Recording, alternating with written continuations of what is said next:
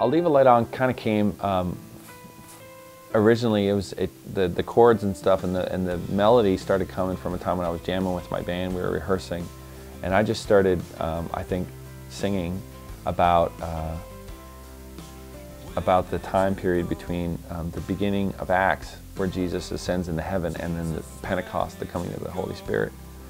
And I'd heard a, a talk by a friend of mine about um, kind of what were the apostles going through in that time period and how, you know, they locked themselves in a door, they were scared out of their brains, you know. Jesus has told them he wasn't going to leave them, and then they saw him floating away into the sky. I think I still think that that's the funniest thing ever. And I like I'm like God has a great sense of humor because he's like I'll never leave you, and he's checking out as he's flown up. And it, to me, it's just really funny. Um, and I think it to me it speaks of my own life when God's like constantly saying like Matt, I won't abandon you. And I'm like, but it just feels like you're floating away. Like it feels like you're.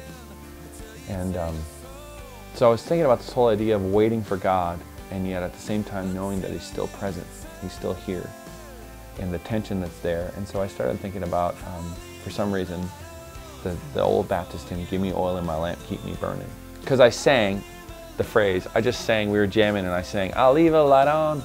Because I was just thinking about waiting for God. And so then I kind of examined that phrase and I was like, I wonder if that's an allegory for the seven virgins in the parable Jesus talks about the wedding um, of the bridegroom. And so I started said, well, leaving my light on, what's my light? Well, my light is the fire of God in me. It's the Holy Spirit in me. So that Jesus puts his light on in us. It's his spirit inside of us that's like on and it's like we're waiting for him to come back.